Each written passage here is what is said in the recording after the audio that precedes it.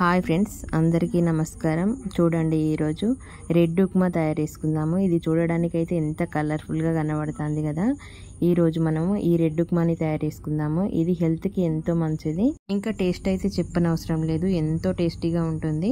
ఉప్మా తయారు చేసేది బట్టి మనం నూనెని వేసుకోవాలి. నూనెని వేసుకున్న తర్వాత పోపు గింజలు కొంచెం అంత జీలకర్ర వేసుకొని ఈ జీలకర్ర పోపు గింజలు కొంచెం సేపు వేగనిచ్చిన తర్వాత కొన్ని ఎల్లిపాయలు అకముక దంచుకొని వేసుకొని కొంచెం కడిగి పెట్టుకున్న శనగపప్పు పప్పు మినపప్పు వేసుకొని ఇంకా కొంచెం సేపు వేగనిచ్చుకోవాలి. ఇది వేగిన తర్వాత మనము సన్నగా కట్ చేసుకున్న ఆలుగడ్డ ముక్కలని వేసుకొని ఒకసారి కలుపుకున్న తర్వాత నానబెట్టుకున్న మిల్ మేకర్ ఒక క్యాప్సికమ్ సన్నగా కట్ చేసి వేసుకుందాము. అట్లనే ఒక క్యారెట్ ఇంకా చిన్నగా ముక్కలు కట్ చేసి వేసుకొని కొంచెం అంత గోబీని వేసుకున్న తర్వాత ఒక్క టమాటా కట్ చేసి వేసుకుందాము.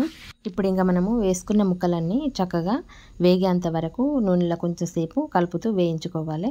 ఈ ముక్కలు చక్కగా వేగిన తర్వాత కొంచెం అంత ఉప్పు ఒక రెండు మూడు రెమ్మల కళ్యామాకును వేసుకుందాము. కళ్యామాకు ఇంకా హెల్త్కి చాలా మంచిది. నేనైతే ఎక్కువనే వాడతా కళ్యామాకు. ఇప్పుడు ఇంకా రెండు బీట్రూట్ చిన్న సైజు తీసుకొని వాటి పైన ఉన్న తొక్కనంతా తీసేసిన తర్వాత చక్కగా చిన్న చిన్న ముక్కలుగా కట్ చేసుకొని మిక్సీ గిన్నెలో వేసుకోవాలి. ముక్కలన్నీ కట్ చేసుకున్న తర్వాత మనకు సరిపడని నీళ్ళు పోసుకొని ఇంకా చక్కగా మెత్తగా అయ్యేంత వరకు అయితే మిక్సీ పట్టుకోవాలి. ఈ పేస్ట్ నేను ముందుగానే మిక్సీ పట్టి పెట్టుకున్నా. చూడండి ఇంకా ఈ విధంగా చక్కగా మెత్తగా అయ్యేంత వరకు మిక్సీ పట్టుకొని ఇప్పుడు మన కూరగాయలల్లో కూరగాయలు అయితే చక్కగా వేగిపోయినాయి. కూరగాయలల్లో వేసుకొని ఇంకా చక్కగా ఒకసారి కలుపుకున్న తర్వాత ఎసరొచ్చేంత వరకు మనం మరిగించుకోవాలి ఈ నీళ్ళని. ఈ మిక్సీ పట్టిన నీళ్ళు ఇంకా సరిపోవనుకుంటే కొన్ని నీళ్ళని వేసుకోవచ్చు. ఇంకా నాకైతే సరిపోతాయి. ఇప్పుడు ఇంకా రవ్వని తీసుకొని కొంచెం కొంచెం వేసుకుంటూ చక్కగా కలుపుకోవాలి. ఇంకా గడ్డలు ఏం లేకుండా. బీట్రూట్ అయితే చాలా మంచిది మీ అందరికీ తెలుసు. ఇది పచ్చిది తినడం అంటే కొంచెం కష్టంగానే ఉంటుంది. అప్పుడు మనము ఈ రకంగా చేసుకుంటే చక్కగా తినచ్చు. ఉప్మా అయితే ఎంతో టేస్టీగా ఉంటుంది. మనము నార్మల్గా ఎప్పటికీ చేసే ఉప్మా కంటే ఈ ఉప్మా చాలా టేస్టీగా ఉంటుంది. ఇంకా తినడానికే కాదు చూడడానికైతే ఎంతో కలర్ఫుల్గా చక్కగా కనబడుతుంది.